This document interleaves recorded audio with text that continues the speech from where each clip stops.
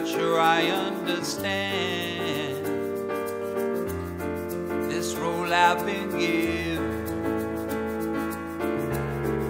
I sit and talk to God, and He just laughs at my plans.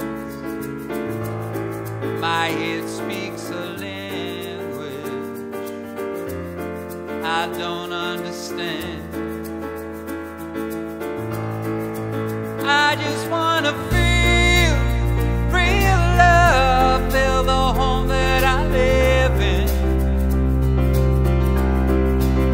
Got too much life running through my veins, oh, going two ways.